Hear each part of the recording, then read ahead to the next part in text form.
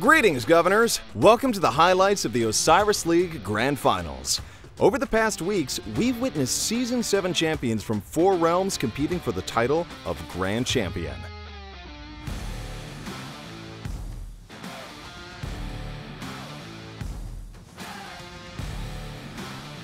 In the semis-finals match between 93T and 489, 489 won the first Ark contention by a landslide, but left the Ark carrier unguarded. 93T took down the Ark carrier and brought the Ark back to their side of the map, giving them a huge advantage for the rest of the match.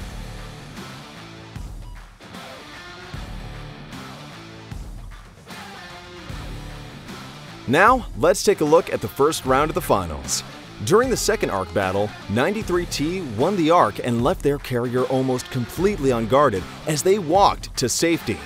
This is an unexpected tactic from 93T who often wins games by ambushing Ark carriers that are not protected.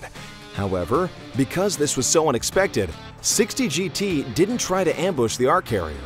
This allowed 93T to use all those marches to defend their buildings instead of their Ark carrier, propelling 93T into a massive building point advantage. The second match was super close, with 93T in the lead, and during the last Ark fight, 93T tried to grab the Ark and use Master Strategist to teleport it to safety, but they failed.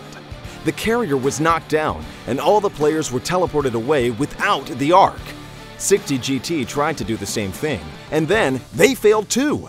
Ultimately, 60GT started to run the Ark back to their side, but was unable to score the Ark in time.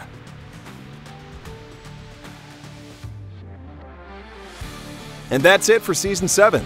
Congratulations to 93T on becoming the new Grand Champion. It was an exciting season, and there's more to come. Don't forget to like this video and subscribe to our channel so you won't miss the Global Champions Grand Prix, which will start on November 4th with 16 of Rise of Kingdom's most powerful teams clashing their swords once again. See you soon!